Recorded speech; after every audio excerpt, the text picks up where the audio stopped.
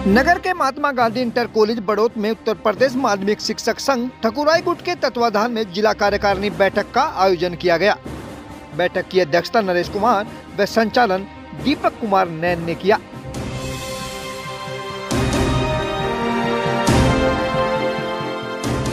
बैठक में आगामी दिनों में होने वाले जिला कार्यकारिणी सम्मेलन को सफल बनाने और झांसी इलाहाबाद परिक्षेत्र में होने वाले शिक्षक संगठन के चुनाव को लेकर चर्चा की गई। वहीं कार्यकारिणी में नए सदस्यों को जोड़ने व संगठन को मज़बूत करने का भी निर्णय लिया गया।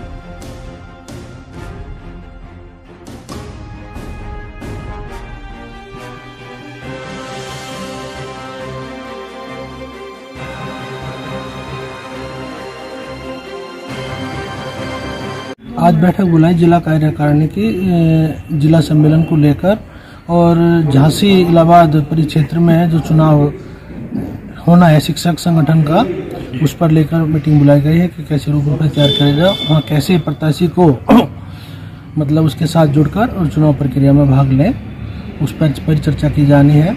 और हमारा संगठन का संरचनात्मक संगठन ढांचा जो है, उसको कैसे मज़बूत किया जाए और कार्यकारिणी पर नए सदस्यों को जोड़ना या कार्यकारिणी में कुछ फेरबदल करने के लिए उस पर विशेष बैठक आज बुलाई गई है।